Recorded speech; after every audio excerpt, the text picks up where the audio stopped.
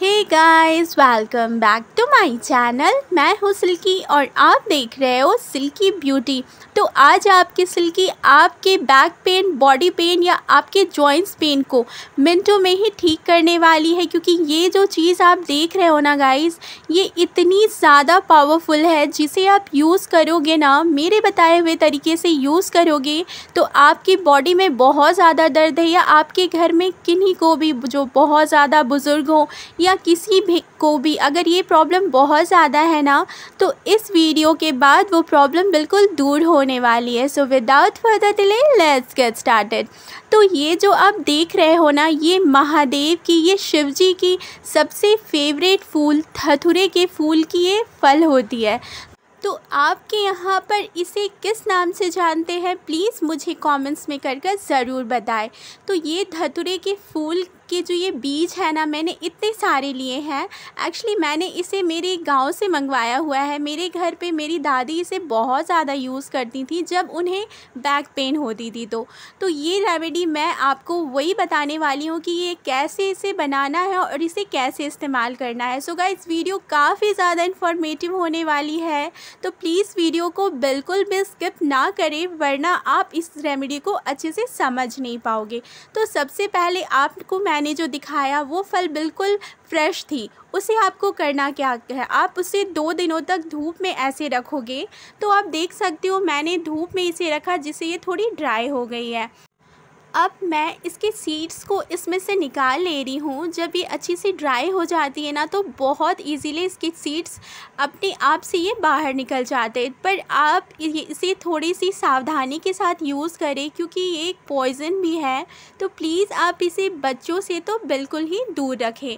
तो आपको यहाँ पर दो वो फल लेने हैं, ये धतुरे के फल को और उसके बीज को यहाँ पर इस्तेमाल करना है। तो मैं आगे आपको बताती हूँ कि इसे हमें कैसे इस्तेमाल करना है। सो गाइस वीडियो को अभी तक आपने लाइक नहीं करा है तो प्लीज़ वीडियो को लाइक कर ले। चैनल पर नहीं हो तो चैनल को सब्सक्राइब करें और अपने फ्रेंड फ्रेंड्स एंड फैमिली के साथ ज़रूर शेयर करें। तो नेक्स्ट अभी आपको किचन में जाना है। मैं आ गई हूँ मेरे किचन में और यहाँ पर मैंने एक ऐसे बर्तन का यूज़ करा है, जिसे मैं बिल्कुल भी यूज़ नहीं करती हूँ। तो आप भी सेम ऐसा ही करोगे। तो यहाँ पे मैंने एक कढ़ाई ली है, जिसमें मैंने 250 ग्राम इतने मैंने यहाँ पर मस्टर्ड ऑयल को लिया है। ये ऑयल बनानी है आपको, जिसके लिए आप मस्टर्ड ऑयल लोगे। अगर आप मस्टर्ड ऑयल स्किप करना चाहते हो तो उसकी जगह आप तिल के तिल का भी इस्तेमाल कर सकते हो।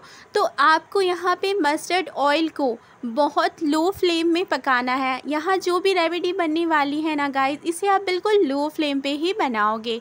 और नेक्स्ट मैंने यहाँ पर पाँच कलियाँ लहसुन की ली है। आपको यहाँ पे गार्लिक लेना है, पर आपको उसके छिलके को निकालना नहीं है। आप बिल्कुल ऐसे ही यूज़ करने वाले हो। मैं आपको बताऊँगी आगे कि मैंने यहाँ पर इसे ऐसे क्यों यूज़ किया है। तो गाइस इन सारी चीज़ों को आपको बहुत ही लो फ्लेम पे ही पकाना है। जब आपको बहुत ज़्यादा घुटनों में दर्द होती हो या आपके शोल्डर्स पेन हो या आपके बैक में बहुत ज़्यादा दर्द है तो आप इस ऑयल को ज़रूर इस्तेमाल करोगे।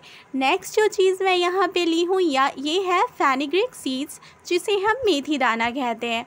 तो मेथी ये सारी चीज़ें आपके बॉडी में क्या जादू करने वाली है ना? जब आप एक बार इसे यूज़ करोगे ना, और आप मुझे तो आके थैंक यू ज़रूर बोलने वाले हो, और आप जिनसे भी ये शेयर करोगे ना, वो भी आपको थैंक यू ज़रूर बोलने वाले हैं, क्योंकि ये ना बहुत ज़्यादा पावरफुल ऑयल बनने वाली है।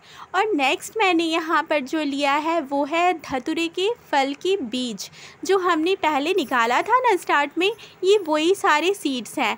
और आपको मैं बार बार बता दे रही हूँ, ये चीज़ें आप जिस भी बोल या प्लेट्स में यूज़ करो ना, वो चीज़ आप फिर नेक्स्ट यूज़ ना करोगे और अगर करे भी तो उसे अच्छे से क्लीन कर लोगे। तो मैंने यहाँ पर धतुरे के सीड्स को भी ऑयल में डाल दिया है मस्टर्ड ऑयल में। जिसे मैं बहुत ही लो फ्लेम पे पका रही हूँ। एक्चुअली ये ऑयल बनाने में आपको टाइम लगनी है, पर ये ऑयल एक बार आप बना लोगे तो आप one month two three months तक इजीली यूज़ कर सकते हो। और नेक्स्ट जो मैं यहाँ पर डाल रही हूँ, ये है अजवाइन जो हम खाने में यूज़ करते हैं ना, बिल्कुल ये अजवाइन ही है। तो इसे भी मैंने यहाँ पर वन स्पून जितनी ली है। और इन सारी चीज़ों को आप बहुत अच्छे से लो फ्लेम पे पकाओगे। मैंने तो वीडियो काफ़ी ज़्यादा लंबी हो जाती तो मैंने थोड़ी सी यहाँ इसे स्किप करती गई हूँ। तो आप इसे बहुत ही पेशेंस के साथ, बहुत ही लो फ्लेम पे पकाओगे गाइस। और इसे आपको जलाना बिल्कुल नहीं है, आपको बस इसे पकाना है। धतुरे की जो ये फल, जो इसके बीज है ना, ये जॉइंट्स पेन बैक पेन के लिए बिल्कुल रामबान होती है क्योंकि उसकी तासीर काफ़ी ज़्यादा गर्म होती है। और सेम चीज़, मैंने जो यहाँ पर लहसन लिया है, लहसुन की तासीर भी गर्म होती है फैनिग्रिक की भी गर्म होती है और अजवाइन की तासीर भी गर्म होती है। तो आप खुद सोचो, जब आप इन सारी चीज़ों को, जिनकी तासीर गर्म है और आप अपने बॉडी पेन पे इसे मालिश करोगे मस्टर्ड ऑयल तो एक बेस्ट ऑयल होती है मालिश के लिए, फिर वो छोटे बच्चों की मालिश करनी हो या बड़ों के लिए। तो आप इस ऑयल को बिल्कुल ठंडा कर लोगे। अब आप सोचोगे कि सिल्की नेक्स्ट अभी क्या बताना है? इसे तो हमें बस स्ट्रेन आउट करना है तो ऐसा बिल्कुल भी ना करें। यहाँ पे हमें इस ऑयल को स्ट्रेन नहीं करना है। जो चीज़ें हमने यहाँ पर इसके, इसमें ऑयल में डाली थी ना, वो उन सारी चीज़ों को आपको साथ में ही बहुत अच्छे से ठंडे करके आप एक ग्लास के जार में इसे ट्रांसफ़र कर लोगे। तो आप देख सकते हो, मैंने जितनी भी इंग्रेडिएंट्स यहाँ पर यूज़ करी हूँ ना, इसे ग्लास जार में ट्रांसफ़र कर ली हूँ, क्योंकि धीरे धीरे जब आप इसे यूज़ करोगे ना, इसके सीड्स अपने आप से नीचे बैठ जाएँगे और ऑयल ऊपर होएगी। और ये सारी चीज़ों की गुडनेस इस ऑयल में आती रहेगी। सो so गाइस इस चीज़ को आप अपने बॉडी पर अच्छे से मालिश करें, दस मिनट तक मालिश करें, अपनी फैमिली में जिन्हें पेन हो उन्हें मालिश करें।